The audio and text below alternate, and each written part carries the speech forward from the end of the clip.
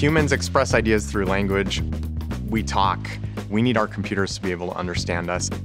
Conversational AI is trying to take that to the next level where the computer actually understands what we're intending to ask for and is able to help us. When you have a conversation with a person, you're building up a history of shared knowledge that you both refer to in order to understand each other. And for computers, that's actually very hard because that requires understanding meaning. I speak, you speak right back. Sometimes you anticipate what I'm going to say. So part of conversational AI is actually the real-time nature of it, which means it's computationally very demanding. The BERT model is a really popular model that's being used by a lot of companies and other organizations researching conversational AI and deploying it. Hi Renee, do you have any questions? How many CUDA cores is that?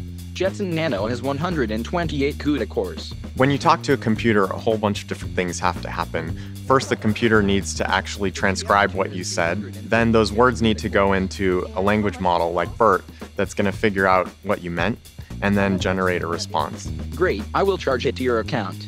And all of those things take time and add latency. And latency makes the interaction slower and not feel natural. So every millisecond of latency that we can shorten in this pipeline is going to make the user experience better.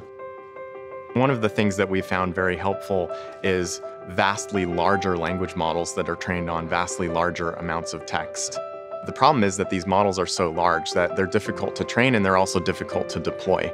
So NVIDIA has really made the training procedure for these large language models much more efficient, and we can now train one of these large BERT models in about an hour, which is faster than anywhere else. Researchers are constantly improving their models in order to make conversational AI better.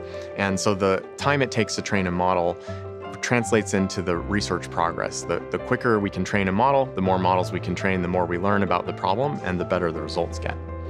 Until recently, it would have been crazy to think about deploying one of these huge BERT models in production in a latency-sensitive application because it would be just too slow.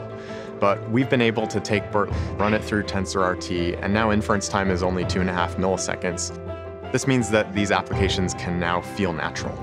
So by making BERT faster, we're actually making a whole class of models faster and more useful for the whole industry. So we've seen that as language models get bigger and we train them on more data, they get a lot more useful. And that's why we're excited about a project we call Megatron, which is to train the biggest, baddest transformer out there. And today we're able to train uh, 8.3 billion parameter models using Megatron.